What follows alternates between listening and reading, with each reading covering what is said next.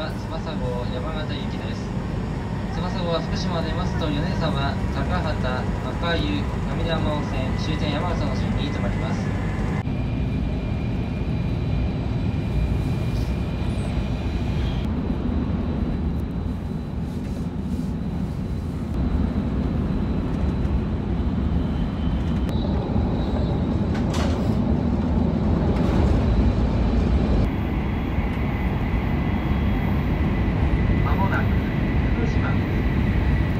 阿武隈コース、福島コース、新潟線は山木高校仙台行きは1号車から10号車です。翼山形行きは11号車から17号車です。福島で切り離し